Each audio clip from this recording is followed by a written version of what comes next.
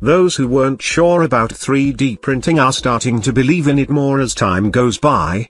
New applications of the manufacturing 3D technology are being used, such as athletic shoes or metal parts. We are also seeing production times, quality, and quantity improving on traditional methods of manufacturing. That's why 3D printed shoes are such a great idea, because 3D printing improves on the industry. The printing caters to larger manufacturers as well as users who have smaller needs. Customization gains an affordable path to new revenue streams. Reasons like these are what keeps 3dshoes.com on the path and keeps us to remain on the path of 3D printed footwear. Unlike traditional forms of manufacturing, 3D printing, additive manufacturing, adds a small layer of material according to directions from a computer program.